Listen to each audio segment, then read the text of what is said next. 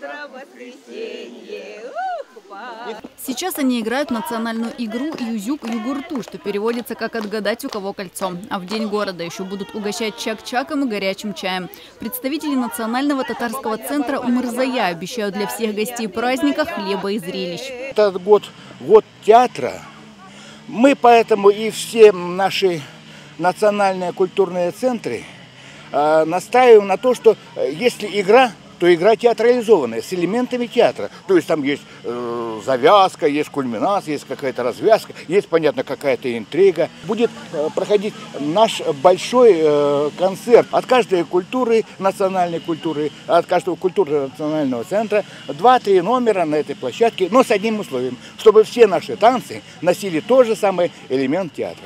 На праздник обещают собраться участники из 30 культурно-национальных центров – финно-угорского, татарского, армянского, казахского и латышского. Познакомиться поближе с их традиционной культурой можно будет через национальную кухню, творчество и народное ремесло. Мастера покажут свои поделки из дерева и глины, роспись по ткани и стеклу. Можно будет примерить традиционные костюмы, узнать секреты создания украшений. 3 числа традиционно здесь работают 4 площадки.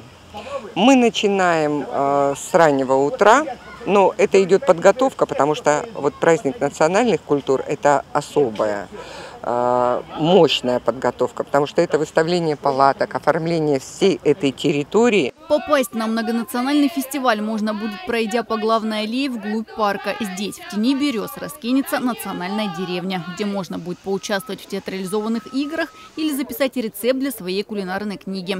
В целом, администрация города подготовила немало сюрпризов. 2 августа в 16.00 любители цветов приглашают на открытие традиционной выставки цветоводства и садоводства «Флора». А вечером в 21.00 с праздником мечей поздравит популярный исполнитель Дан Балан.